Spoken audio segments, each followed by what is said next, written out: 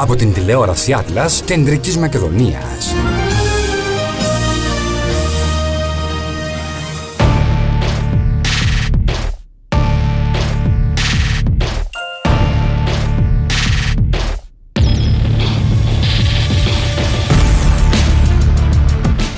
Πολλών μέτρων σχηματίζονται καθημερινά από χιλιάδες οχήματα στην επαρχιακή οδό 27, που αποτελεί τη βασική οδική σύνδεση των οικισμών Περαία Νέων Επιβατών, Αγίας Τριάδας, Αγγελοχωρίου, Κερασιάς και Νέας Μηχανιώνας. Αιτίες που δημιουργούν την κατάσταση αυτή είναι η ύπαρξη μιας λωρίδας κυκλοφορίας ανακατεύθυνση με πλήθος στάσεων της αστικής συγκοινωνίας του ΟΑΣΤ και φωτεινών σημάνσεων. Ώρα 8 το πρωί και βλέπουμε πίσω μας το μπουτιλιάρισμα που δημιουργείται στον κεντρικό δρόμο που ενώνει την Περαία με τη Νέα Μηχανιώνα. Ο δρόμος συνολικού μήκους σχεδόν 8 χιλιόμετρων έχει κατασκευαστεί τη δεκαετία του 1950 και αυτή τη στιγμή εξυπηρετεί χιλιάδες οχήματα σε καθημερινή βάση, με τον αριθμό να είναι πολύ μεγαλύτερος από αυτόν για τον οποίο έχει σχεδιαστεί. Το πρόβλημα είναι ότι κάθε πρωί, λόγω ότι όλο, όλος ο κόσμος θέλει να πηγαίνει στις δουλειές του, τέτοιο, υπάρχει μεγάλο πρόβλημα εδώ πέρα. Κάνεις τουλάχιστον από το, τους νέους επιβάτες εδώ μέχρι να βγεις εδώ στην πέρα 10 λεπτά, ένα τέταρτο. Σε μια απόσταση μπορεί να την κάνεις σε 2 λεπτά. 1,5 λεπτό. Δεν υπάρχει αρκετός χώρος ώστε να περνάνε τα αμάξια, κολλάνε τα λεωφορεία. Ένα είναι το πρωί που πάει κάτω από τις δουλειές του και ένα είναι επιστροφή το μεσημέρι που γυρίζει από τις δουλειές του. Ε, ο δρόμος είναι από την αρχή της Περαίας που μπαίνει στην Περαία μέχρι τη Μηχανιώνα έχει πρόβλημα αυτός ο δρόμος. Όταν έρχομαι εγώ για την Περαία μέχρι που είναι τριπλής κατευθύνσεως ο δρόμος εκεί έρχομαστε καλά. Όταν μπαίνουμε στην Περαία από εκεί και πέρα έχουμε τα προβλήματα. Παράλληλα, λόγω της κακής κατάστασης στην οποία βρίσκεται το οδόστρωμα και παρά τις προσπάθειες που γίνονται από τα συνεργεία του Δήμου Θερμαϊκού για τη συντήρησή του, σημειώνονται καθημερινά πολλά σοβαρά τροχαία, από τα οποία αρκετά είναι θανατηφόρα. Αυτός ο δρόμος πρέπει να ανοιχτεί επιτέλους για να μπορέσουμε κι εμείς με ασφάλεια να πηγαίνουμε στις δουλειές μας και στα σπίτια μας. Αν δεν γίνουν έργα υποδομής και όχι έργα βιτρίνας, από εκεί και πέρα όλα χάνονται. Εξατμίζονται. Ο δρόμος αυτός πρέπει πάση θυσία να διανοιχτεί. Τελεία και παύλα. Ο Δήμαρχος Θερμαϊκού Γιάννης Μαυρομάτης, μιλώντας στην κάμερα του Άτλας για το συγκεκριμένο θέμα, τόνισε την ανάγκη να προχωρήσουν άμεσα οι μελέτες για την αναβάθμιση του επαρχιακού δικτύου, ώστε σε σύντομο χρονικό διάστημα να γίνουν οι απαραίτητες εργασίες για να ανακουφιστεί η περιοχή. Το μεγαλύτερο πρόβλημα, και το τονίζω το μεγαλύτερο πρόβλημα της περιοχής μας, το μεγαλύτερο εννοώ για την ανάπτυξή της, για την ασφάλεια των κατοίκων της, αλλά και των επισκεπτών της, είναι η προσπελασιμότητα.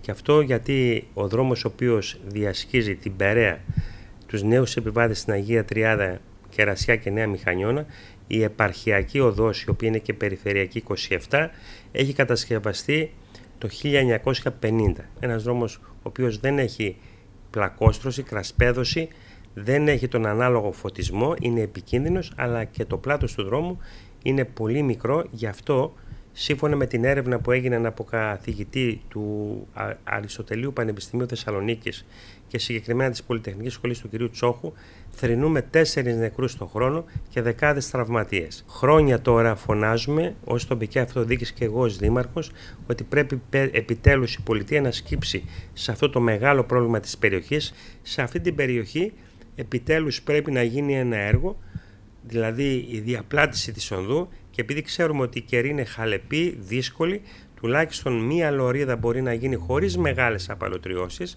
ώστε να κατασκευαστεί και ένα πεζοδρόμιο και να μπορεί να γίνει και ο ανάλογος ηλεκτροφωτισμός.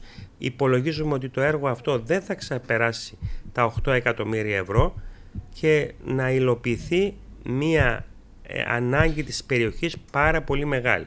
Όπως ζήτησα και από τον Υπουργό Υποδομών μία ανάλογη χρηματοδότηση για να γίνει άμεσα η μελέτη του δρόμου αυτού και επειδή ίσως υπάρχει μεγάλη γραφειοκρατία από τις υπηρεσίες και καθυστερούν οι υλοποιήσεις των μελετών, να εμπλακεί και η Εγνατία Οδός ΑΕ προκειμένου να είναι πιο ευέλικτο το σχήμα και να γίνει η μελέτη αυτή με πολύ γρήγορους ρυθμούς. Το προτινόμενο έργο εντάσσεται στο πλαίσιο βελτίωσης του επαρχιακού οδικού δικτύου και αποσκοπεί στην απόδοση κατάλληλων ενιαίων ανατμήμα γεωμετρικών χαρακτηριστικών και στη βελτίωση της βατότητας της οδού. Η υλοποίησή του παράλληλα αναμένεται να βελτιώσει συνθήκες κυκλοφορίας και τελικά τη μείωση της επικινδυνότητας αλλά και τη βελτίωση της ποιότητας ζωής των κατοίκων μέσω της μείωσης της ρήπανσης αλλά και των επιπέδων θορύβου, συμβάλλοντας έτσι στην περαιτέρω ανάπτυξη της περιοχής. Φοβάμαι ότι άνετα και εγώ αυτή τη στιγμή θα λιποθυμίσω και δεν θα έχω κάποιος να μου παρέχει πρώτη βοήθεια. Απλά. Αυτό το εσύ σώζει ζωές εδώ πέρα, έτσι. Και από τροχαία ατυχήματα, αλλά και από οτιδήποτε συμβαίνει στον καθένα. Το καλοκαίρι η Κασάνδρα μαζεύει ένα εκατομμύριο κόσμο. Ένα στενοφόρο που να τα προφτάσει. Και είναι νομίζω απαράδεκτο εν έτη 2018 να μην έχουμε ασθενοφόρο όλο το 24ωρο, έλλειψη προσωπικού είναι πολύ σημαντικά πράγματα. Είναι τα πρώτα που πρέπει να βλέπουμε για την υγεία μας. Ανάστατη με την ιδέα ότι και το φετινό καλοκαίρι θα περάσει χωρίς να έχει αλλάξει κάτι με το ΕΚΑΒ της Κασάνδρας είναι οι κάτοικοι της περιοχής. Η έλλειψη προσωπικού στο Εθνικό Κέντρο Άμεσης Βοήθειας προκαλεί σοβαρά προβλήματα αφού δεν μπορούν να καλυφθούν όλες οι βάρδιες του Κέντρου Υγείας με αποτέλεσμα να μένει η περιοχή ακάλυπτη για ένα οκτάωρο. Που είχε πάρει το ασθενοφόρο, ήρθε, με πήρε, με παρέλαβε μαζί με μία βοηθό και έτσι φύγαμε και κυριολεκτικά σώθηκα στο παρατσάκ. Έχεις ακούσει από φίλους, από γνωστούς, από εδώ την περιοχή ε, να μην μπορέσαν να έχουν το ΕΚΑΒ, το ασθενοφόρο τη στιγμή που το χρειαζόντουσαν. Βεβαίως. Βεβαίως. Και μάλιστα πήγανε με ιδιωτικό αμάξι. Πάρα πολλές περιπτώσεις τέτοιες. Και κυρίως από τη θάλασσα. Κυρίως καλοκαίρι εδώ πέρα γίνεται χαμός ε, και το μόνο πράγμα που πρέπει να έχεις είναι ένα αμάξι να χωράει κάποιον μέσα για να μπορέσεις να τον μεταφέρεις στο πλησιέστερο νοσοκομείο. Ένα ασθενοφόρο που να τα προφτάσει; Τρεις βάρδιες να δουλέψει το ασθενοφόρο αυτό εδώ 24 ώρες να δουλέψει ασταμάτητα για τρεις μήνες πάλι δεν τα προλαβαίνει. Το ένα στενοφόρο να δουλεύει συνέχεια τρεις συνεχόμενες βάρδιες 24 ώρες. Δεν τα προλαβαίνει με τίποτα. Θέλει τρία στενοφόρα, εκ των οποίων το ένα να κάνει την νυχτε...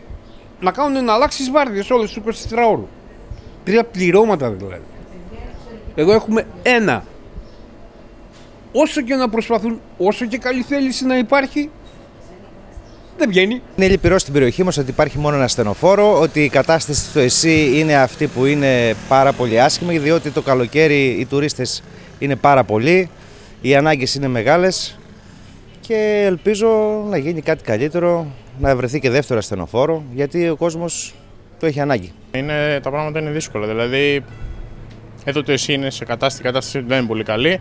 Αναγκαστικά, ας πούμε και σήμερα το περιστατικό, μάθαμε ότι η γυναίκα αναγκάστηκε να πάει μέχρι τον Πολύγυρο. Είναι μια διαδρομή, είναι μια ώρα με τη ζέστη, μπορεί να συναντήσει κίνηση. Τα λεπτά σε τέτοιες περιπτώσεις είναι σημαντικά. Τα στενοφόρα έρχονται γρήγορα. στενοφόρα... Εντάξει, τώρα, άμα υπάρχει ένα στενοφόρο και πόσο γρήγορα να έρθει και μέσα στη σεζόν. Ο φόβος υπάρχει βέβαια, πάντα θα υπάρχει. Ε, το πρώτο που πρέπει να κάνουμε είναι να ενημερωνόμαστε, να υπάρχει, υπάρχει δυνατά ο εθελοντισμός στην περιοχή.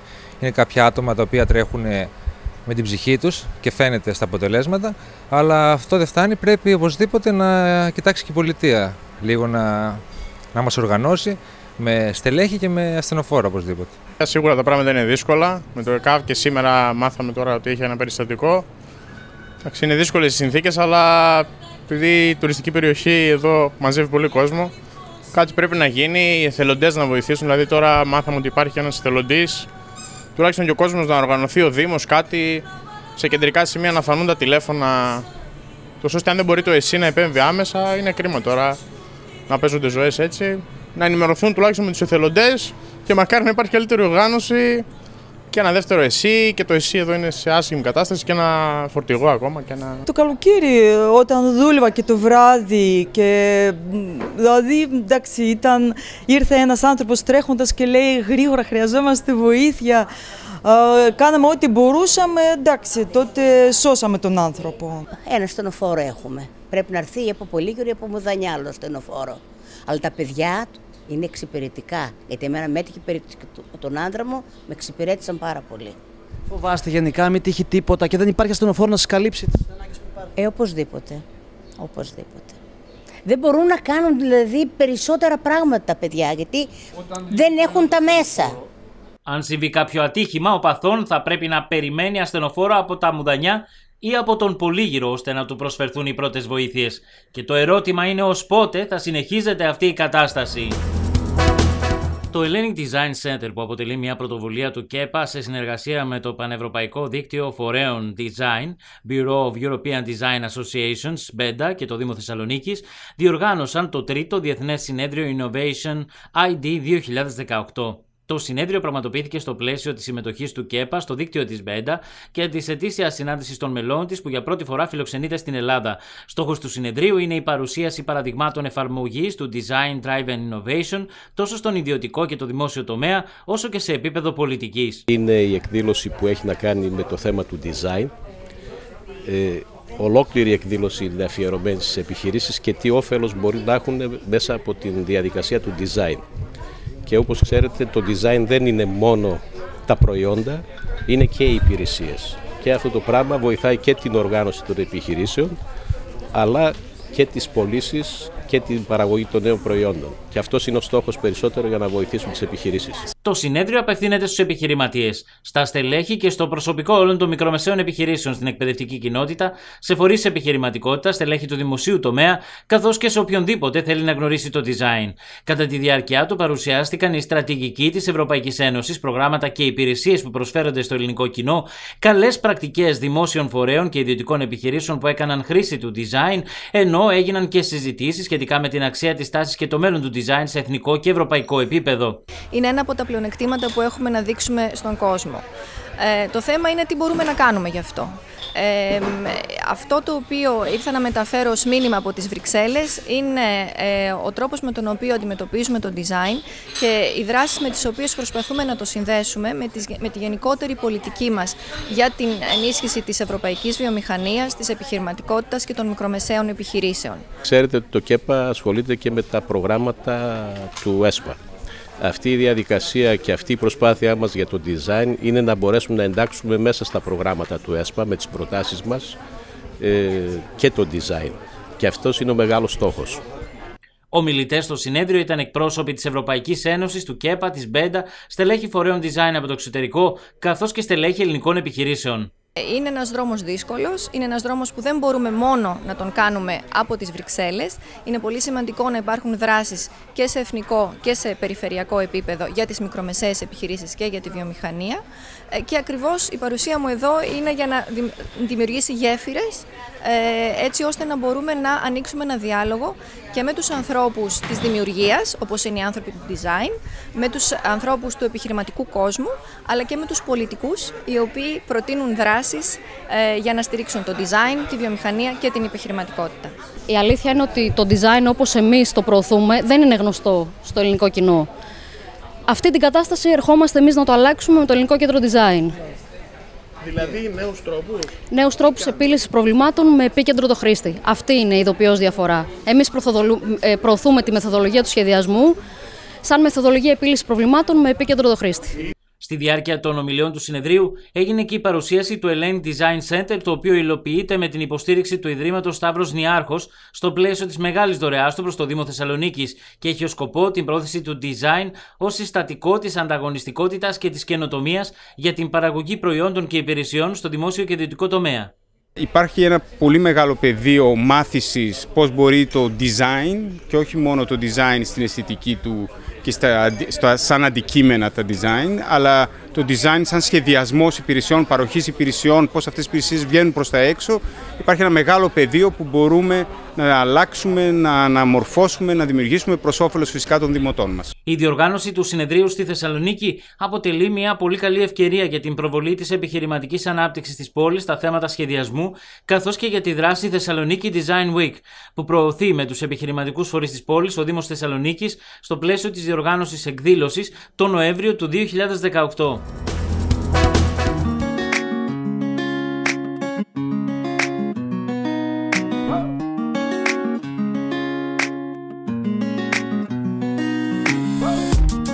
με τις σποράδες αναμένεται να συνδεθεί ακτοπλοϊκά από τις 15 Ιουνίου το λιμάνι της Θεσσαλονίκης εξυπηρετώντας ένα μεγάλο αριθμό τουριστών που θέλουν να μεταβούν σε σκιάθος Κόπελο και Αλόνισο. Στις θετικές εξελίξεις αναφέρθηκε ο Αντιδήμαρχος Τουρισμού Σπύρος Πέγκας. Το δρομολόγιο θα εξυπηρετείται με ταχύπλοα πλοία μέχρι το Σεπτέμβριο. Θα έχουμε εκτοπλοϊκή σύνδεση με τις σποράδε σε καθημερινή βάση, 10 ώρα το πρωί αναχώρηση και 7,5 ώρα επιστροφή είναι κάτι το οποίο η Θεσσαλονίκη το είχε ανάγκη και το επιθυμεί και ακόμα περισσότερο φυσικά οι σποράδες. Καλούμε τους Θεσσαλονικείς, αλλά και το ίδιο θα κάνουμε και με τους επισκέπτες και τους τουρίστες, να στηρίξουν αυτή την ακτοπλοϊκή σύνδεση, ώστε να μην έχουμε την αγωνία κάθε χρόνο αν θα υπάρχει ή δεν θα υπάρχει. Ο κύριος Πέγκας τόνισε ότι παρατηρείται έντονο επιχειρηματικό ενδιαφέρον στην πόλη και αφορά αυτό την έναρξη λειτουργίας νέων μικρών ξενοδοχείων, καθώς και τη δρομολόγηση λεωφορείων ανοιχτού τύπου για ξεναγίηση επισκεπτών. Ο τουρισμός πάει πολύ καλά, τα ξενοδοχεία είναι γεμάτα, τρία νέα ξενοδοχεία άνοιξαν αυτή την εβδομάδα μικρά ξενοδοχεία αλλά με πάνω από πέντε δωμάτια. Νομίζω ότι αυτό είναι θετική εξέλιξη, δείχνει την επιχειρηματικότητα, την κινητικότητα που υπάρχει γύρω από τον τουρισμό. Υπάρχουν, ε, να σας πω, γύρω στα έξι αιτήματα από ανθρώπους που θέλουν να βάλουν λεωφορείο τουριστικό, να δείχνει τα αξιοθέατα όπως είναι το hop on, hop off. Μας έχουν έρθει έξι αιτήματα από επιχειρηματίες, άρα η αγορά μεγαλώνει και αυτό είναι πολύ θετικό. Το επόμενο διάστημα αναμένεται να επισκεφθούν τη Θεσσαλονίκη τουριστικοί πράκτορες από το Νεπάλ. Όπως είπε ο κύριος Πέγκας, αυξανόμενο είναι το ενδιαφέρον και από την κινέζικη και την ιαπωνική αγορά. Έχουμε ανθρώπους που έρχονται μέχρι και από το Νεπάλ. Θα υποδεχτούμε την επόμενη εβδομάδα τουριστικούς πράκτορες από το Νεπάλ που έρχονται για να δουν τη Θεσσαλονίκη, να τη βιώσουν και να την πουλήσουν στη συνέχεια στη δικιά τους τη χώρα. Γνωστή αγορά το Νεπάλ και είναι... βέβαια δεν γνωρίζει κανείς για την δυνατότητα την οικονομική. Ναι, νομίζω ότι είναι αγορές που δεν τις είχαμε στο παρελθόν. Έχουμε, βλέπουμε αρκετούς Κινέζους, αρκετούς Ιαπωνέζους. Οι Ιαπωνέζοι είναι νούμερο 2 στην Qatar Airways σε κρατήσεις οργανωμένων group και θα έχουμε πολλά τέτοια, πολλές τέτοιες εθνικότητες στο επόμενο διάστημα που είναι καινούριες για την πόλη μας και νομίζω εμπλουτίζουν το τουριστικό μας προϊόν. Μια νέα εξέλιξη που αφορά την ακτοπλοϊκή σύνδεση της πόλης με την Νότια Ελλάδα είναι ότι δρομολογείται η σύνδεση με τις Κυκλάδες και το Ηράκλειο της Κρήτης. Το δρομολόγιο αναμένεται να πραγματοποιείται δύο φορές την εβδομάδα με συμβατικό πλοίο.